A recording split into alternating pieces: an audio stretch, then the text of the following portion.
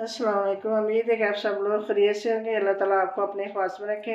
आज हम अफ्तार रमज़ान डिश लेकर आए हैं।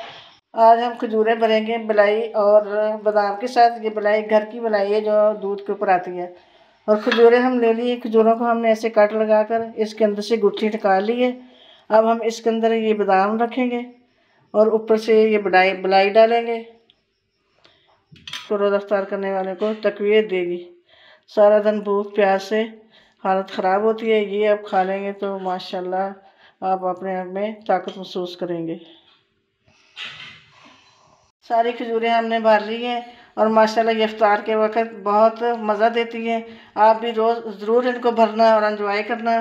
कि आपको हमारी ये डिश पसंद आई होगी, पसंद आई तो लाइक करें शेयर करें सब्सक्राइब करें बेल आइकन के बटन को प्रेस करें। ओके अल्लाह हाफिज़।